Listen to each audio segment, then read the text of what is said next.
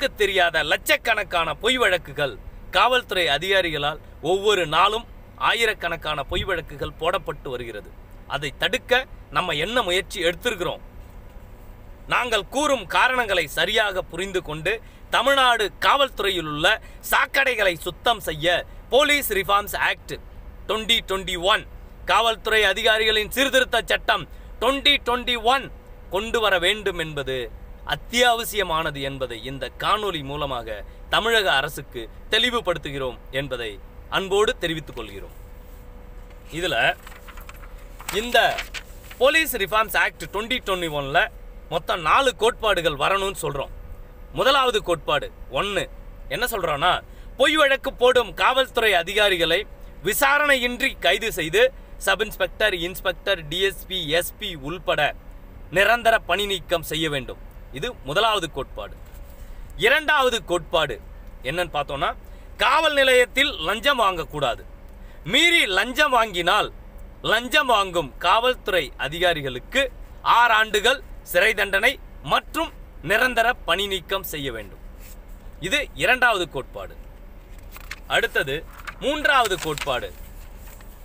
காவல்துறை அதிகாரிகள் ரவுடிகளைப் போல் பொதுமக்களிடம் நடந்து கொள்ளக்கூடாது. பொதுமக்களை அவதூறு வார்த்தைகளால் திட்டக்கூடாது. காவல்துறை அதிகாரிகள் மக்கள் சேவகனாக நடந்து கொள்ள வேண்டும். காவல்துறை அதிகாரிகள் தொலைபேசியில் புகார் மனுக்கள் பற்றி கேட்டால் அதை முறையாக பதில் சொல்ல வேண்டும். கொடுக்கப்பட்ட வாசகங்களை முறையாக படித்து காட்ட வேண்டும். இது மூன்றாவது கோட்பாடு.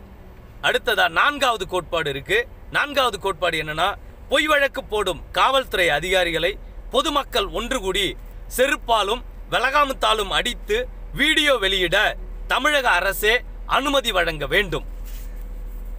இதற்கான சட்ட மசோதாவை சட்டமன்றத்தில் சட்ட ரீதியாக பாஸ் பண்ண வேண்டும். இந்த காணொளி மூலமாக லஞ்சம் வாங்கி கொண்டு பொய் வழக்கு போட்ட பெண்ணாடம் சப் இன்ஸ்பெக்டர் காமிலா பானுவையும் கடலூர் மாவட்டத்தில் உள்ள விருதாச்சலம் டிஎஸ்பி ஆர் மோகனையும் உடனே கைது செய்து நிரந்தர பணி நீக்கம் செய்ய வேண்டும் என்று திமுக தலைவர் தளபதி ஸ்டாலின் அவர்களை இரு கரம் கூப்பி கேட்டுக்கொள்கிறோம்.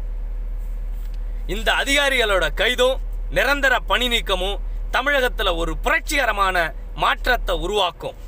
இவர்களுக்கு கிடைக்கும் தண்டனையை பார்த்து தமிழ்நாட்டில் உள்ள அனைத்து காவல்துறை அதிகாரிகளும் சரியாக செயல்படுவார்கள் என்பதை இந்த காணொளி மூலமாக தெரிவித்துக் கொள்கிறோம்.